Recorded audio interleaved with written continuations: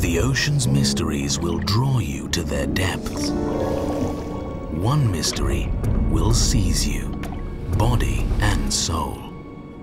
It is a creature long demonized. A monster that could tear a ship to pieces, or so the tall tales told. But the truth is even stranger than the science fiction. Now an international team risk their lives to chase a legend. To reveal the truth behind the myths of the giant octopus.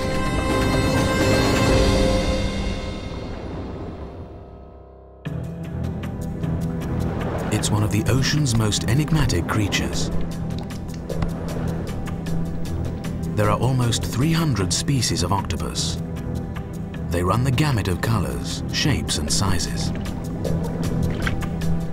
They thrive in virtually every marine habitat, from deep hydrothermal vents to shallow shores. One is the stuff of legend, the giant Pacific octopus. Most octopus species weigh a kilogram or less. Giant octopus lives up to its name. History records rare leviathans wrestled from the depths, weighing in excess of 50 kilograms. And perhaps much more than that.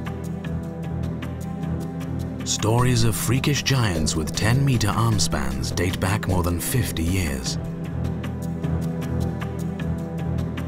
Some captures were said to tip the scales at over 180 kilograms, as much as a black bear. Such reports are shrouded in uncertainty. But this has not stopped fearsome monsters taking hold of our imagination.